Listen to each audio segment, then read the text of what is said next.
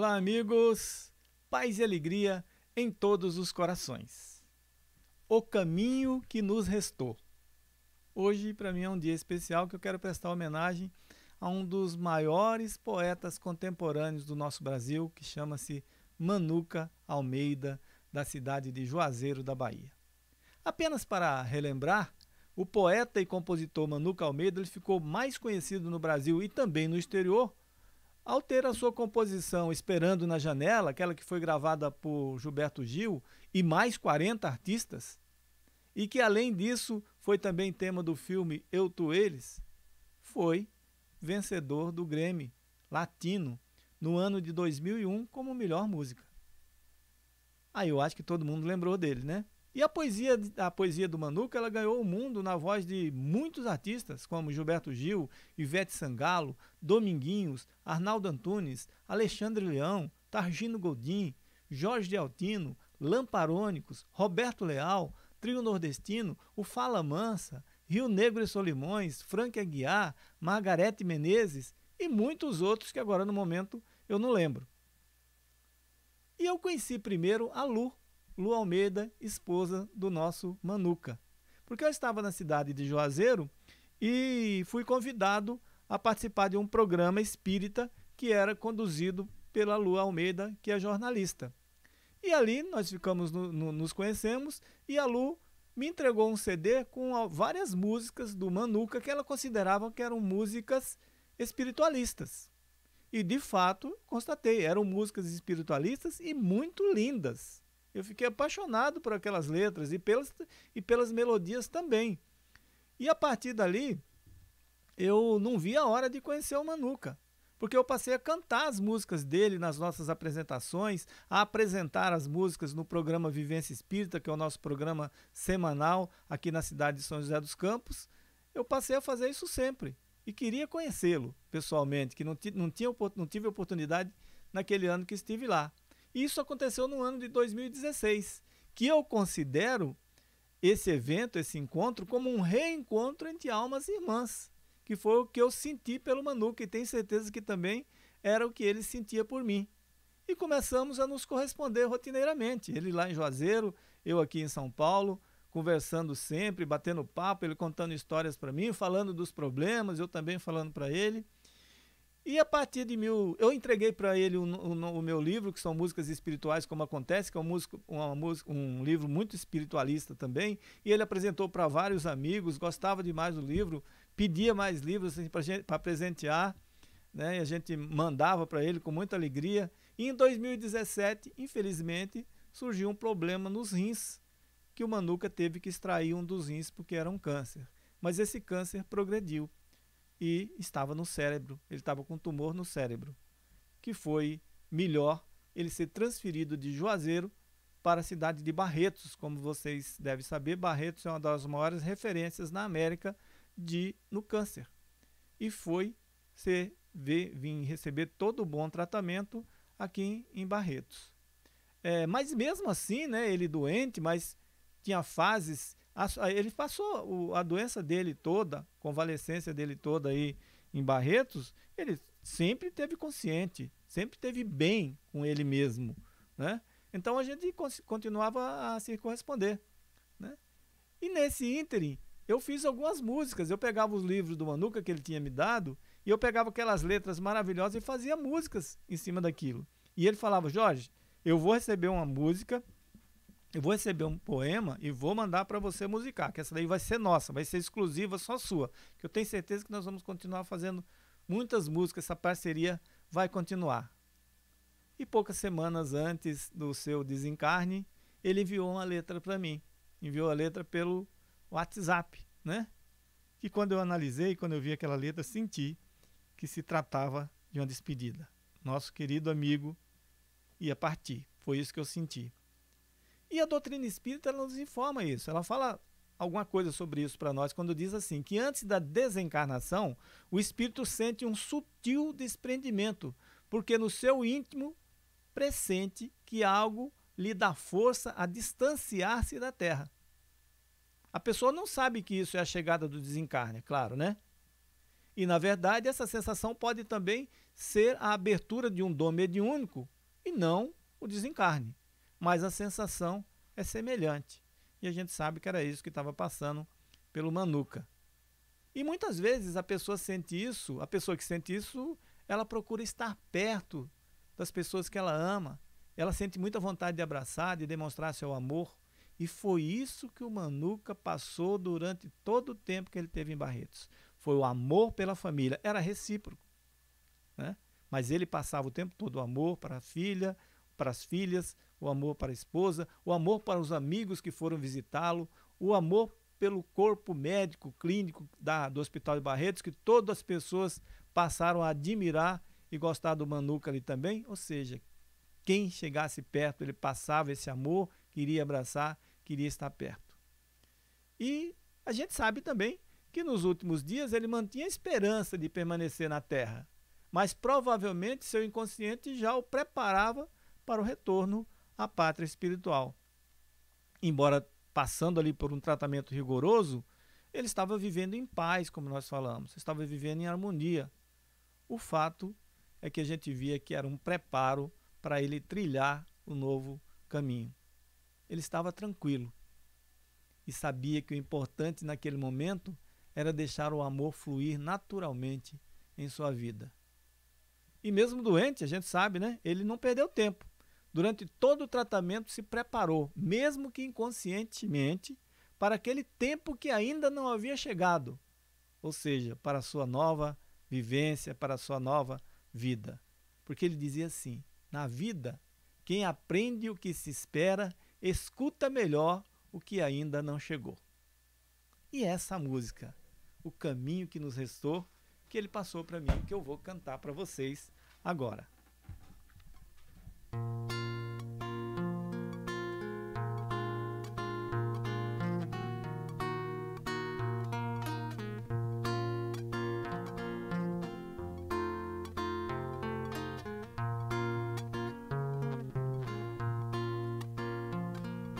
Quando a harmonia entre em nossas vidas,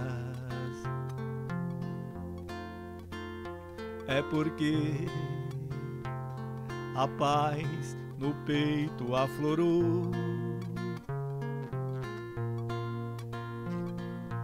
É só a paz clareia nossas vidas.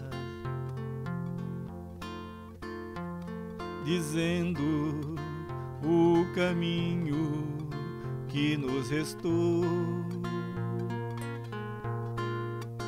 Com suas pétalas, o nosso peito enfeitou, porque na vida o que nos resta é ter pressa da chegada do amor. Com suas pétalas o nosso peito enfeitou. Porque na vida o que nos resta é ter pressa da chegada do amor. Eu quero mesmo é o tempo da espera e aprender com o tempo que não chegou. Pois na vida quem aprende o que se espera. Escuta melhor o que ainda não chegou. Escuto agora o som dos passarinhos e o silêncio que ainda não voltou. Escuto agora o som dos passarinhos e silêncio que ainda não voltou.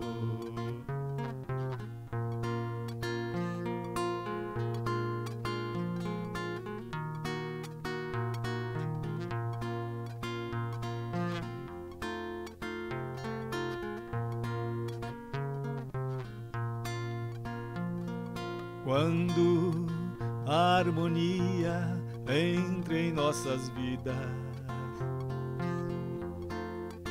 é porque a paz no peito aflorou. É só a paz clareia nossas vidas.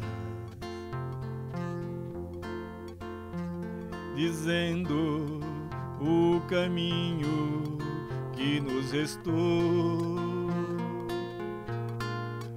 Escuto agora o som dos passarinhos e o silêncio que ainda não voltou. Escuto agora o som dos passarinhos e o silêncio que ainda não voltou.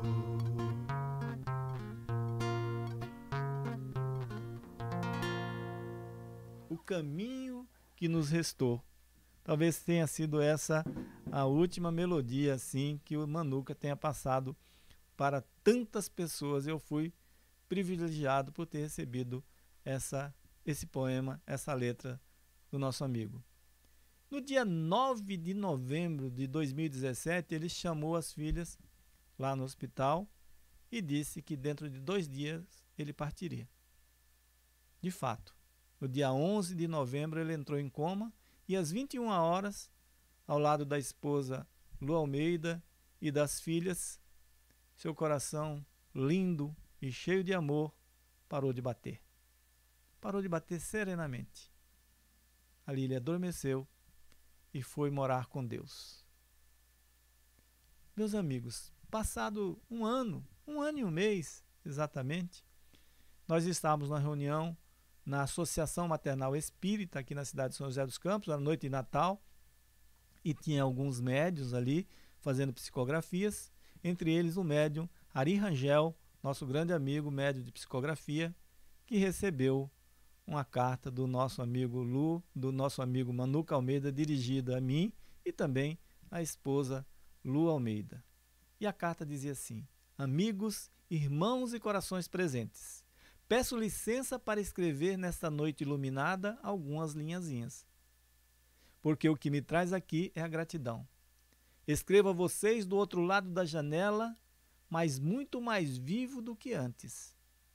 São tantos corações congregados que há por aqui uma verdadeira epopeia de luz. Não fui um espírita, mas tive a alegria de, nos últimos dias da experiência terrena, receber mensagens de conforto que esta doutrina traz aos corações. Ao amigo Jorge, eu deixo mais uma vez a minha gratidão na minha nova Juazeiro, trago comigo as impressões que este amigo semeou em meu coração. Como sempre dizia, só o amor é maior do que o amor que já existe. Além do palco da vida, há muitos outros palcos cheios de vidas e atos que encenamos muitas vezes. Hoje, a convite de amigos maiores, não poderia me furtar a esse encontro. Se tudo me parece novo, vou igualmente me renovando por aqui. Há pouco aportei por aqui, mas a poesia da vida vai ganhando mais sentido. Jorge, meu bom e velho baiano legítimo, aceite o abraço desse irmão que veio cantar seus versos por essas bandas. Quando puder, diga a nossa Lu que o nosso Natal será nas instâncias do mundo maior, quando ela adormecer e vir temporariamente me visitar trazidas pelos braços dos corações queridos. Fica assim, meu amigo, meus amigos, irmãos, a minha alegria por poder ter estado aqui hoje junto a essa ceia de luz. fiquem em paz na alegria de viver, sabendo que a vida segue plena deste outro lado da janela. Do irmão menor e poeta incurável, Emanuel Gama Souza Almeida. Manuca Almeida.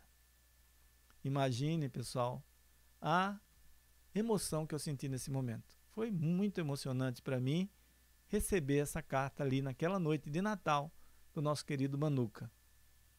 Só para falar, né, a mediunidade, no caso da música do Manuca, ela foi muito mais assim, anímica até, se a gente foi, eu fui intuído a fazer a música quando ele passou a letra para mim.